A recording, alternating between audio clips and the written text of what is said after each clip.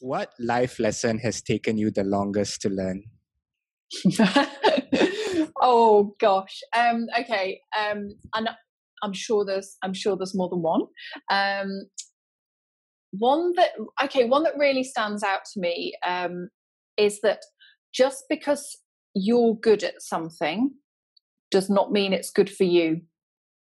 And I um I sort of look back at my life. I mentioned earlier I was a headhunter for 11 years and and I was good at it. And that's not me showing off you know I was good at it you know based on my you know my revenue based on my reputation.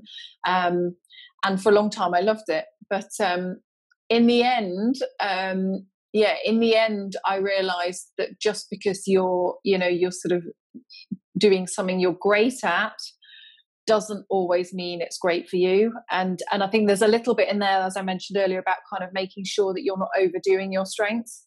And i think probably i did overdo some of my strengths and i probably just overdid some of my just i think probably i overdid my drive and my competitive um you, you know elements. And i think i just like worked so hard for so long that i reached a point that i just went enough enough now. And um, yeah, I'm going to let other people take on the headhunting of HR leaders in the UK now. yeah, that's such that's such a powerful lesson for all of us. You know, what's good for us, you know, it's not necessary what's um, what's oh, uh, sorry, what's what we're good at is not necessarily yeah, what's good exactly for us. that, exactly yeah. that, and it, and I and, and sort of I guess I I learned that um, yeah I learned that just it sort of hit me about five years ago when I set up my business because I just kind of realized I had to stop and I kind of reached a point I was like, actually, I, I recognize in my body and my soul, I was like, enough, I need to do something different now.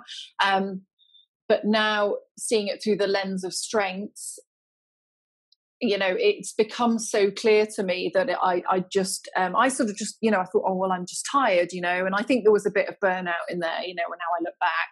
Um, but I think some of it was just, I just I was doing too much of the things that I was good at to the extent that it just, you know, it's just like I, have kind of I've I've overdone them and they've gone down into my toolkit, but they're not the things that are energizing me anymore.